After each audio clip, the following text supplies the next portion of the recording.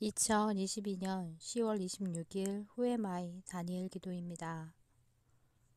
오늘은 방클 기도굴이 4시부터 시작해서 4시까지 열렸습니다.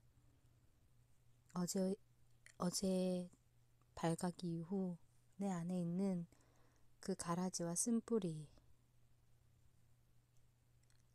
사단의 흔적은 어, 더 이상 나와 함께 동거할 수 없기에 하루라도 빨리 내 안에서 몰아내야 했습니다.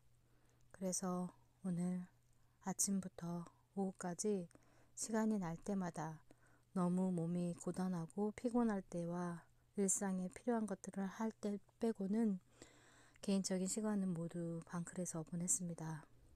원래 예정된 수업이 있었지만 어, 왠지 그 수업에 가서 룰루랄라 기분 좋은 노래를 부르며 세상 노래에 연주하는 칼림바 악기를 배우는 것이 얼마나 더덥고 무의미한가 그런 생각이 들어서 오늘 꼭 가야 하는 수업이 아니라면 결석을 하고 계속 기독을 안에 머무르고 싶었습니다.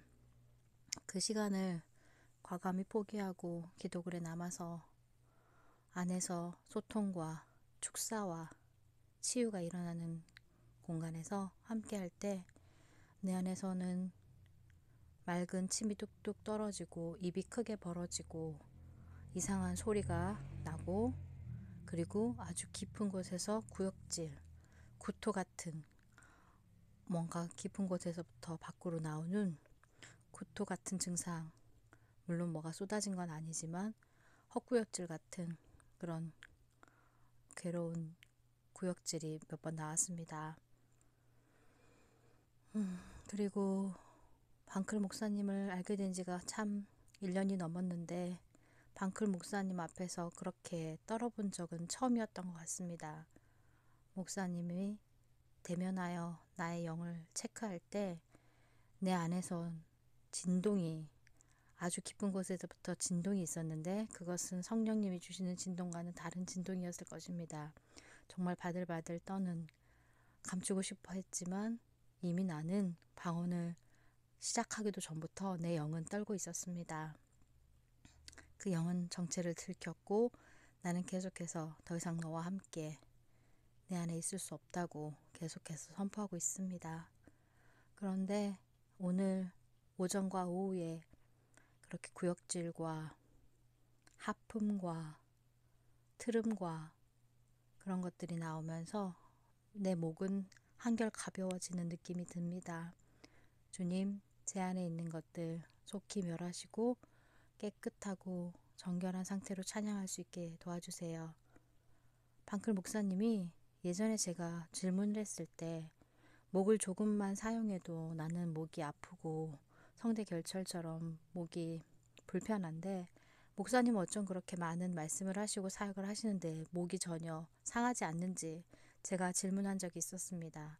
그때 목사님께서 힌트로 미안하지만 내 목에 쓴뿌리가 있고 가라지가 끼어서 그렇게 염증이 있는 상태나 마찬가지라고 그때 목사님께서 제 목에 가라지와 쓴뿌리 염증으로 인해서 그렇게 목을 조금만 사용해도 목이 쉬고 목이 아프고 목소리가 변하는 것이라고 하시, 하셨습니다.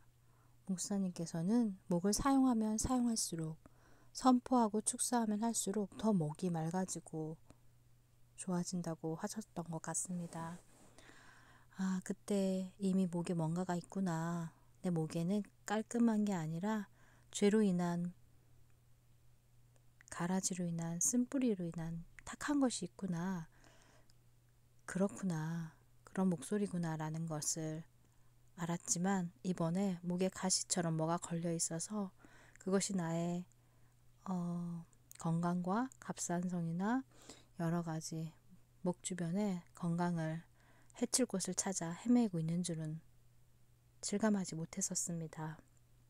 그때 좀 경각심을 가지고 적극적으로 더 축사와 힐캠에 참여했어야 했는데 너무 깊이 오랫동안 웅크리고 숨어져 있었던 존재였기에 오랫동안 1년이 넘도록 반응이 없어서 저는 정말 제 안에는 그런 것이 없는 줄로만 알았던 것입니다.